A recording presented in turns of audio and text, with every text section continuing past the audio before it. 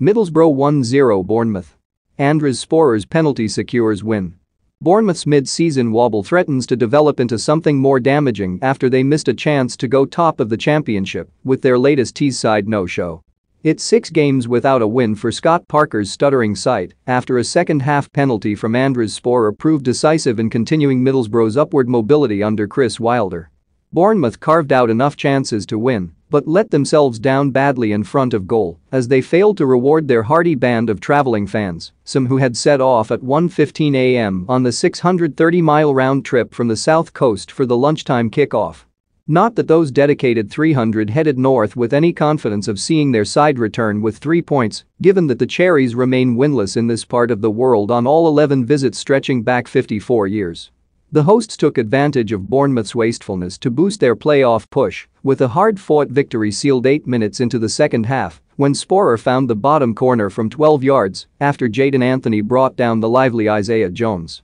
The Cherries have taken just six points from a possible 24, and the warning signs were clear early on, as it took them half an hour to fashion an opening of note, although in mitigation they made up for lost time by creating enough clear-cut chances, which should have seen them go in three goals up at the break. The first came courtesy of the hosts, whose penchant for playing out from the back far from instilled confidence. Predictably enough, Jonny Howson directed Paddy McNair's hospital pass to Anthony, who cut into the area but wastefully sent his angled drive the wrong side of the post. As the visitors gained more of a foothold in the contest, Ryan Christie stood up across from the right to the far post, where Dominic Solanke made the most of the mismatch in height, with his marker Jones only to head wide from 5 yards. It was a mistopped before the interval by Christie, who lost his marker Neil Taylor at the far post but was unable to apply what should have been a routine finish in front of an unguarded net as the Scots' miss-hit shot bounced into the turf and over the bar. Boro's best two chances bookended a first period high on energy but low on quality.